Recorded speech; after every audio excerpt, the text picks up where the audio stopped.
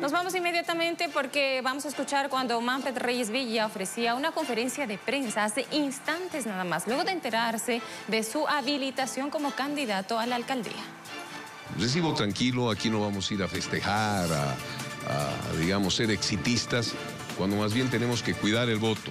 Si bien hemos desplegado un gran grupo de gente, tenemos una cantidad importante de gente, de ciudadanos comunes que van a estar en las más de 2.300 mesas. Vamos a ser seguramente los primeros que demos el resultado el día domingo.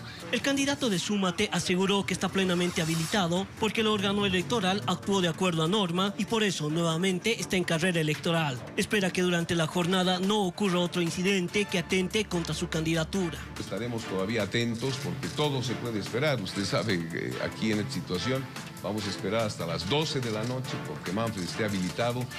No vamos a permitir una agresión a Cochabamba, no vamos a permitir esas eh, formas de, de, hacer política y no vamos a permitir eh, que se cambie la decisión de los cochabambinos y cochabambinas. Vamos a estar atentos. Manfred lamentó que durante algunos días se puso en vilo a la ciudad de Cochabamba porque no se resolvía el problema de su inhabilitación a pesar de que él pagó su deuda. Asegura que ahora trabaja en la planificación de las actividades para este domingo, día de elecciones.